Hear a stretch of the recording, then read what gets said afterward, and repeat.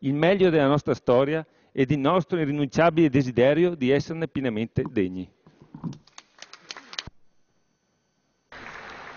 Bene, la ringrazio deputato Ginato, quindi abbiamo concluso le dichiarazioni di voto sulla questione di fiducia. Adesso procediamo all'estrazione a sorte del nome del deputato dal quale comincerà la chiama. Vediamo quale nome esce. Il nome è Vezzali.